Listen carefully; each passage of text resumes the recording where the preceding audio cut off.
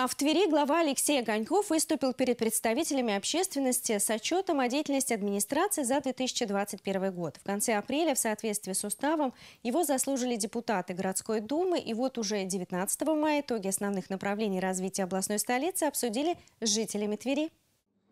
Такие встречи с общественниками традиционно проходят в конце весны. Глава подробно рассказывает о социально-экономическом развитии и городском хозяйстве, исполнении бюджета, работе муниципальных предприятий и, конечно, о реализации национальных проектов. В минувшем 2021 году один из крупнейших – безопасные качественные дороги, в рамках которого в Твери отремонтировали еще 70 дорог. Стабильная работа социальной сферы – важнейшая составляющая качества жизни тверичан. В прошлом году в городе был построен детский сад на улице Планерной. Сейчас идут работы в садах на Левитана и Склескова. Общей проектной мощностью 380 мест.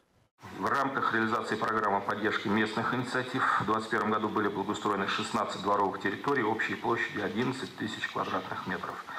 Во многом благодаря планомерной работе по благоустройству Тверь четвертый год подряд показывает высокий индекс качества городской среды. Говоря о благоустройстве, глава Твери отметил, что в прошлом году полностью преобразилась Мигаловская набережная. Выполнено благоустройство сквера Дружбы и территории возле памятника Андрею Дементьеву. Еще одна важная составляющая – дворы и программа по благоустройству общественных зон, что уже не первый год позволяет Твери сохранять устойчивые позиции в рейтингах городов Центрального федерального округа по индексу качества городской среды. Наша общая работа в конечном счете направлена на перспективное развитие города, городского бизнеса и повышение качества жизни наших горожан.